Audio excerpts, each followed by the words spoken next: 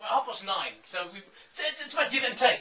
Marc Lottering, good morning and welcome. Uh, hello, nice that you introduced me with Kinky Afro. was very thematic, well thought out. It's a great synergy there. It's a great link, a great segue.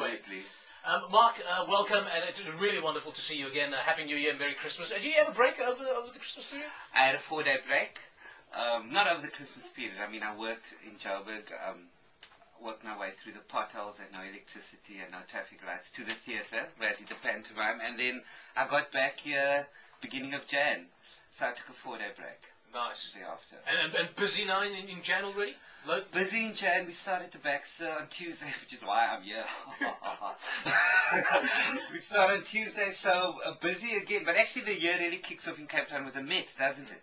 and Which- you, which and you're going tomorrow? Of course, so you're not going? Uh, I'm popping for a little while. It's going to be very hot tomorrow.